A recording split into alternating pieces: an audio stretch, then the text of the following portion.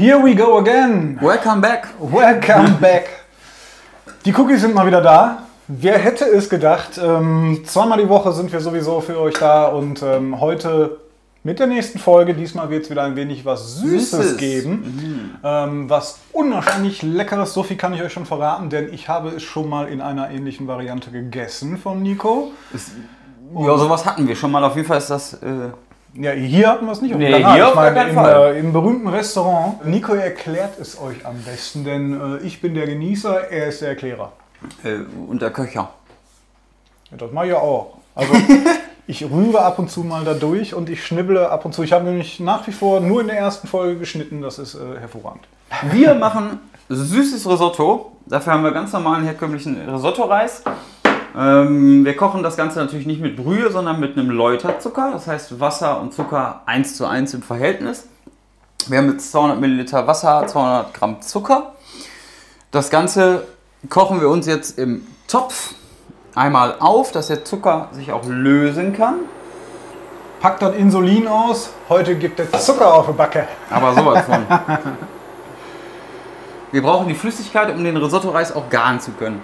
Ganz Ohne genau. Flüssigkeit geht's nicht. Dann haben wir den ähm, Rhabarber uns schon geschält.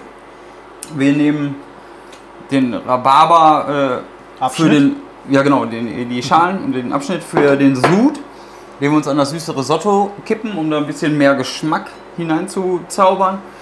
Äh, wir kochen mit ein bisschen Rosmarin. Dann darf der süße Parmesan, also die weiße Schokolade, nicht fehlen, die wir uns dann nachher reinraspeln. Dazu wird es dann ähm, Erdbeeren geben mit Minze. Schön dann- warm, schön lecker, schön süß. Das ist Schön süß. richtig süß. Das ganze Gericht ist eine Voll süße auf die Explosion. 12, aber eine absolute Explosion des äh, süßen Geschmacks. So, das heißt, Nico hat es jetzt reingetan, die äh, Rhabarberreste von der Schale, um ein wenig Geschmack damit ranzukriegen. Ähm, das wird jetzt nur aufgekocht, Wir lassen das einmal kurz aufkochen, lassen das ziehen. damit der Zucker sich auflöst, denke ich mal. Ja, genau. Ja, Studentenfutter-Risotto.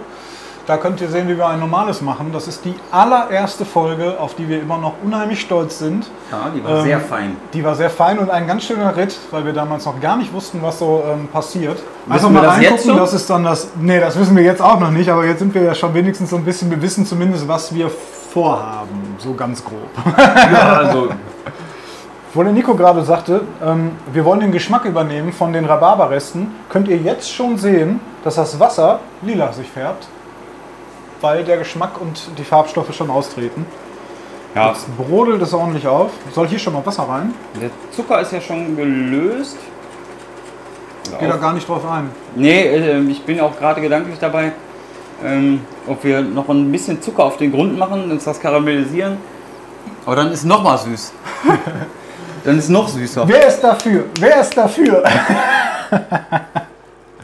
So, das sieht Ist herrlich aus. Wird dann einfach nur umgefüllt. Wir haben das Sieb ähm, mit reingestellt, damit wir die Rhabarberreste dann raus haben. Und es bleibt eine wunderbare Rhabarber-Zuckersoße. Ja, aber übrig. Das ist mal eine Brühe, wie ich sie gerne habe. wir machen uns so einen kleinen Rhabarber-Kompott. Die Erdbeeren machen wir an. Und hiermit machen wir unser Risotto. Wir machen ein wenig Zucker fürs Risotto rein, weil ähm, mit dem Zucker hier, dem Zucker, der an die Erdbeeren kommt, der Schokolade, die gleich da drauf kommt, ähm, Ist es könnte es vielleicht ein wenig knapp werden mit der Süße. Deshalb hauen wir einfach noch mal ein bisschen Zucker. Es ist nicht viel, wie ihr seht. Der Boden ist leicht benetzt. Ähm, soll so ein bisschen anrösten, karamellisieren quasi. Und dann kommt das Risotto drauf und wird mit wird hiermit abgelöst. Ja, ne? genau. Wir würden auf jeden Fall mit normalem Wasser nachher noch angießen, um den Risotto-Reis bissfest zu garen. Also jetzt noch hier mehr Zucker und da schon Zucker und kannst auch Überschrift, wir kochen Zucker. Äh, hackt Geil. der Nico noch mal ein klein wenig Rosmarin in feine Stückchen. Ähm, das kommt dann halt so als kleiner Pfiff in die Süße mit rein. Arbeiten wir heute gar nicht dann mit Salz und Pfeffer auch, ne? Eine Prise Salz. Ne? Eine Prise Salz. Prise Salz gehört immer dran. Das macht das Ganze nämlich am Ende sogar noch süßer. Der Zucker ist angeschmolzen, das Risotto geht dementsprechend mit rein. Soll ich das direkt ein wenig verrühren? Kannst du versuchen, aber es wird festkleben. Nö. Ach, geil. Also Risotto-Reis kocht er so oder so mit drei Teilen Flüssigkeit. Das heißt, wir gießen einmal an, so dass der Risotto-Reis gut benetzt oder gut bedeckt ist. Lassen das runterköcheln, die äh, Flüssigkeit, und gießen dann wieder auf. Nico füllt jetzt erstmal ein bisschen normales Wasser mit ein. Das ist unsere erste Zugabe von Wasser. ähm, so dass es benetzt ist. Das haben wir wunderbar erreicht. Und dann kann das jetzt quasi die erste Stufe garen. Rosmarin Ähm, kommt aber wir reden ja die, genau, der Geschmack kann äh, die ganze Zeit gerne mit reinziehen. Wir machen uns ein kleines Rhabarberkompöttchen dazu. Habt ihr schon mal bei uns gesehen? Ähm, bei unserer wundervoll ausgearteten Folge des Desserts mit dem Mousse au Chocolat. Ähm, passt halt wunderbar dazu mit den Erdbeeren, dem Rhabarber dann zusammen. Wie beim letzten Mal auch. So schräge Schöne, oder? schönes Stückchen. Wird doch irgendwie komportiert. Es wird kompostiert? Komportiert. Hier ist die Flüssigkeit schon ähm, so gut wie verschwunden. Das heißt, ich äh, werde das erste Mal jetzt auffüllen. Hat sich die Farbe ein klein wenig verändert im Risotto, weil dort ein wenig was von unserem Läuterzucker mit Rhabarber drin ist. Ja, es ist ein bisschen roséartig geworden. Genau. Rhabarber ist fertig. Rhabarber ist fertig. Kann direkt in den Topf. Zucker ist ja was, was gerade Kinder in der Regel nicht gerne mögen. Ähm, mein Sohn zum Beispiel äh, sagt jedes Mal, Papa, bitte keinen Zucker, das mag ich nicht. Kleiner Scherz am Rande, ich hätte erwartet, von da hinten kommt jetzt eine Beschwerde. Er sitzt da hinten und macht Hausaufgaben. Homeschooling, Grüße gehen raus. so? Ja. Kannst du dich den Erdbeeren widmen und kannst auch einfach da bleiben. Der restliche Läuterzucker kommt dran. Ich möchte übrigens mal ein bisschen Applaus hören, denn dadurch, dass ich hier die ganze Zeit schnibbel, hat der Nico jetzt schon das eine oder andere Mal die Kamera umgestellt und die Schärfe. Ich werde das dann nachher begutachten. genau. Das ist nämlich das, das, Spannende daran. Und der Ärger geht Ich dann habe direkt mich- an deine Richtung. Ich habe mich um die Schärfe gekümmert. Das ist natürlich kritisch. Da gibt schon von den hinteren Reihen äh, ein bisschen Beifall.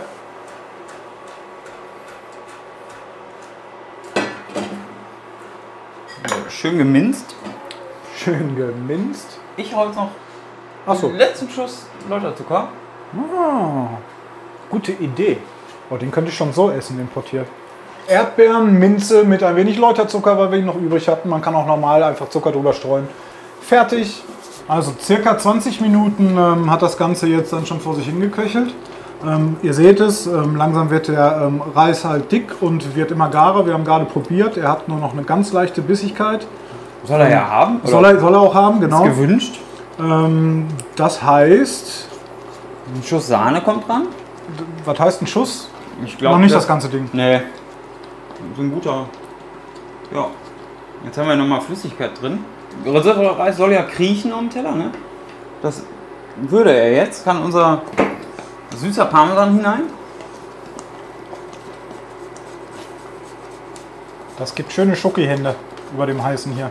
So eine richtige, schöne, sinnliche, haptische Nummer. Muss das ganze Ding hier da verarbeitet werden? Ja, ein bisschen was können wir uns gleich hier noch drüber reiben, glaube ich. Dann haben wir unser süßes Risotto. Richtig schön schlotzig. Ihr könnt euch das natürlich von der ähm, Konsistenz so weit runterkochen oder nur so viel Flüssigkeit äh, angießen, wie ihr das haben möchtet. Ne? Das stimmt. Ich wollte gerade gesagt haben, ähm, Nico hat es wieder auf irgendwelche merkwürdigen Arten und Weisen geschafft, es hinzukriegen, dass ich derjenige bin, der am Ende die dreckigen Hände hat. Oh, Wo ich was? am wenigsten mache. So, wir sind damit durch und können anrichten, wie ihr seht. Der Nico, der nimmt euch mal wieder hervorragend mit. Der macht einfach, weil er Bock drauf hat. Ja, aber das ist nur durch Zufall, das wusstest du gar nicht. Das ist quasi Low Carb, was wir hier heute machen. Kleiner Scherz am Rande. Es ist relativ weit davon entfernt. Wir haben unser Rhabarberkompott, wir haben äh, das süße Risotto und jetzt kommt noch ein wenig Erdbeeren mit Minze und Läuterzucker. Ich glaube, Endlich. das Wort Zucker ist heute ähm, durchaus gefragt. Um das Ganze noch ein bisschen süßer zu machen, Den Boden hast du in Ja. erster Linie gesüßt. So, ich schau mal, ähm, was bei mir der andere hinkt euch da wunderbar mit. Ja, Und man ist direkt gedanklich so, oh, ich muss den Teller machen, ich muss den Teller ich machen. muss den kann Teller gar nicht machen, quatschen. ich kann gar nicht quatschen. Doch, ich kann immer quatschen. Ich nehme auch ein wenig Rhabarber. Zweierlei Ecken. Eine Ecke mit zwei Dingern. Und, hm, hm, hm. Ist da hier so ein bisschen Minze dran, oder nicht? Ein Krönchen? ja, aber das möchte ich gefälligst alleine tun. Hier. Das Abschlagen ist ganz wichtig. Tada! So, einmal schön auf die 12, was den Zucker angeht. Ganz genau, wir zeigen es auch nochmal hier oben. Fein. Es hat Zucker gemacht. Es wir lassen es uns jetzt schmecken. Ähm, werden danach ein bisschen Wasser danach trinken und äh, leckere Nummer, frischer tatsächlich dann hinten raus noch als man denkt, dadurch, dass wir halt den Rhabarber dabei haben, die Erdbeeren dabei haben. Und wir haben ja gerade probiert, es ist, gar nicht, es ist gar nicht so süß, weil wir haben ja mit der doppelten Menge ähm, Wasser gearbeitet. Das stimmt. Also Läuterzucker und ganz viel Wasser Genau. und haben dem Ganzen so ein bisschen Rosmarin. die Süße genommen. Genommen. Danke, dass ihr dabei wart. Hat uns gefreut, mal wieder was für euch äh, auf den Teller zu kriegen. Und ähm, wir wünschen euch noch einen wundervollen Resttag. Macht Das- es nach. Abonniert uns, kommentiert uns, liked uns, äh, vorbereitet uns, genießt uns, habt Spaß mit uns. Wir haben ihn in jedem Falle und sagen schönen Tag noch. Tschüss von den Cookies. Adieu.